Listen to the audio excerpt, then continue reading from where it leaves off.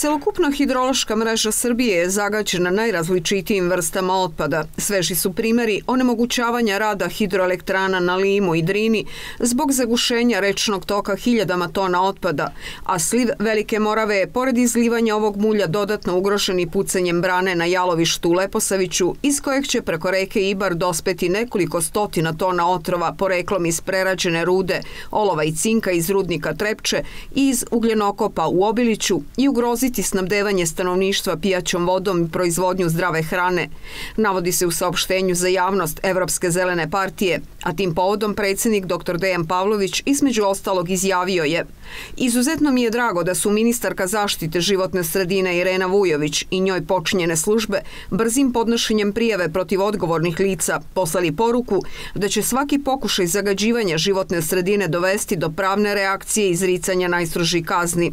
Zalažem se da postojeće kazne budu još veće, jer onaj kome je profit preči od zdravlja našeg potomstva zaslužuje da bez tog profita i ostane. Za adekvatno procesuiranje ovakvih prekršaja, po rečima Pavlovića, neophodna je saradnja i predstavnika lokalne samouprave i policijskih snaga, jer štete prouzrokovane ovakvim postupcima prevazilaze delokrug rada ekoloških inspektora.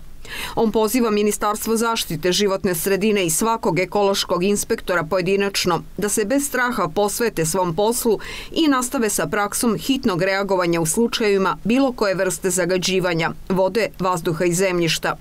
Dodaje da u interesu zdravlja građana treba promeniti praksu da je ekološkim inspektorima za izlazak na teren po prijavi građana potrebno odobrenje iz ministarstva. To u velikom broju slučajeva onemogućava brzo otkrivanje počinilaca ili ostavlja mogućnost za zataškavanje, a nekad počinioci ne budu ni otkriveni. Oni koji ovo ne žele ili ne umeju neka se povuku i ustupe mesto onima koji smeju da stanu ispred nesavesnih pojedinaca i kompanija u odbrani čiste životne sredine, izjavio je dr. Pavlović. U saopštenju Evropska zelena partija podsjeća i na potencijalne opasnosti koje prete od jalovišta u Leposeviću i na ekscesnu situaciju 2014. godine kada je posle katastrofalnih poplava pukla brana jalovišta u rudniku stolice kod Krupnja i u reke Kostajni, Korenitu, Jadar i Drinu se slile ogromne količine otrovnih hemikalija, ostavljajući i nanose jalovine po njivama na obalama ovih reka.